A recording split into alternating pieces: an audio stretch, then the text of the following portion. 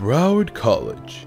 It is among the top 10 community colleges in the nation and home to our mascot, Sammy the Seahawk. But who is Sammy? Where did he come from? Is he still around campus?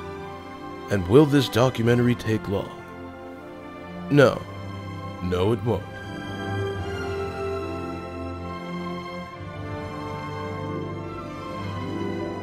Samuel C. Hawkson was born in the elusive month of Samuary. At a very young age, Sammy had developed a heart for helping others. He left the nest seeking out opportunities to make a difference in the world. Soon enough, Sammy found himself playing a part in many historically significant events, such as the signing of the Declaration of Independence, the Wright brothers' first flight at Kitty Hawk, and of course the epic lunar landing in 1969. Some would think that our flying friend would stop here, but no. In fact, he continued to find invigorating and impactful ways to spend his time. So what did he do?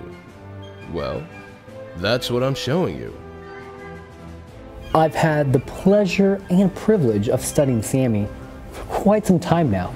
First off, his migratory patterns are amazing. As birds fly south, he flies north. He'll be around the Pembroke Pines area and miraculously appear in Davie and goes far north as Coconut Creek. The thing that stands out about that bird is his heart. He is involved in the community supporting local businesses. He's really big on conservation efforts.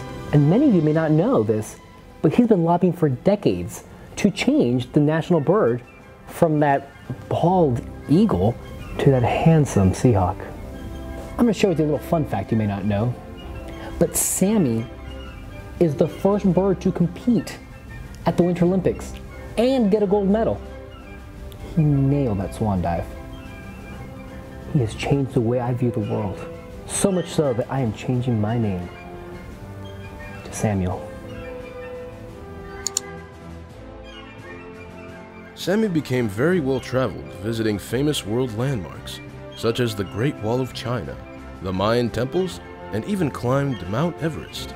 Yes, this happened, but no other place had such an impact on Sammy as the south of Florida, specifically Broward College. He enjoyed the weather, the people, and the lively atmosphere. In 1986, Sammy was named as the official mascot of Broward College, replacing our previous and less impressive mascot, the Seahorse. Yes, a seahorse. Seriously, the Miami Herald wrote an article about it. Look it up. Go away, Seahorse. No one likes you.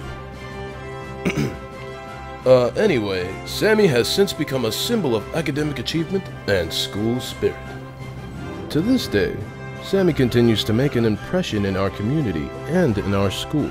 Sammy is constantly seen around these parts at many Broward College events, especially graduation. If you keep your eyes peeled, you could possibly catch a glimpse of our famous fowl around campus.